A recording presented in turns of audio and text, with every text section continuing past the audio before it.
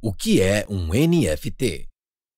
Você já deve ter ouvido falar sobre tokens não fungíveis, ou NFTs. Se você não tiver, bem, tudo bem, mas ainda vamos falar sobre eles. Então, NFT.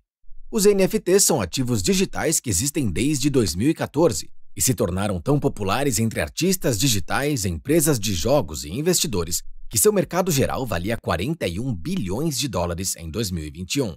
Representando itens tangíveis e intangíveis, os NFTs fornecem aos artistas e criadores de conteúdo de hoje uma maneira inovadora de autenticar e vender diretamente seus trabalhos online.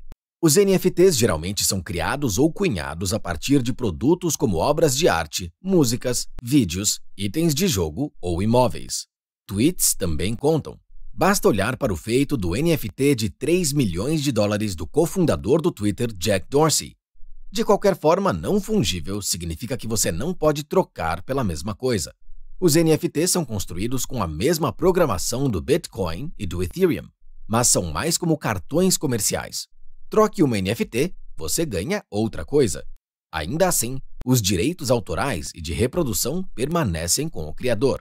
Assim, enquanto um NFT concede a propriedade de, digamos, um Van Gogh, você não possui o trabalho original. Não tentando ser mal aqui, é assim que funciona.